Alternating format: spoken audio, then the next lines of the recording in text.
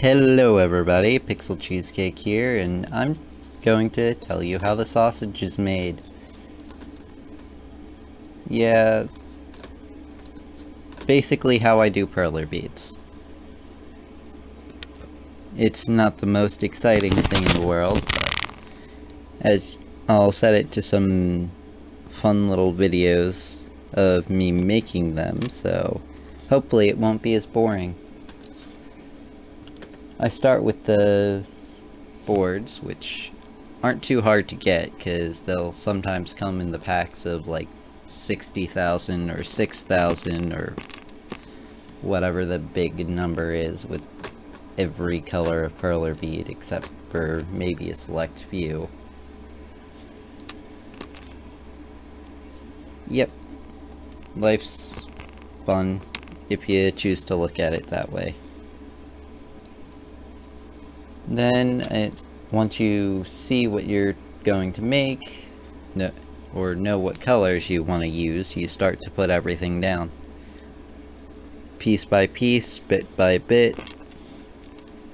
It's therapeutic for me, so that's why I keep doing it. Currently I'm just working on cat heads for... They're more like tigers, because they have the glow-in-the-dark ears tigers do, anyway. Because my friend's doing, uh, some plushies, and which she wants to do, like, collars for, so... Perler beads would be a fun little tag.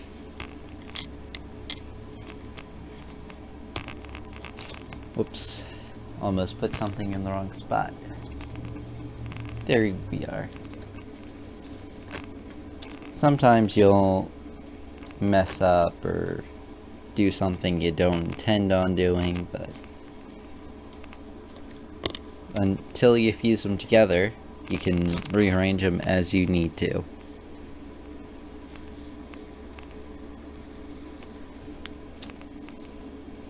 I normally start with the outline, grab what, and then grab the colors I need in inside that outline.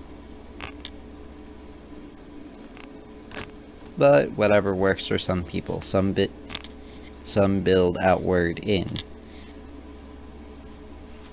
Why didn't you make this video yesterday? Oh, yesterday I had work and I honestly couldn't be bothered.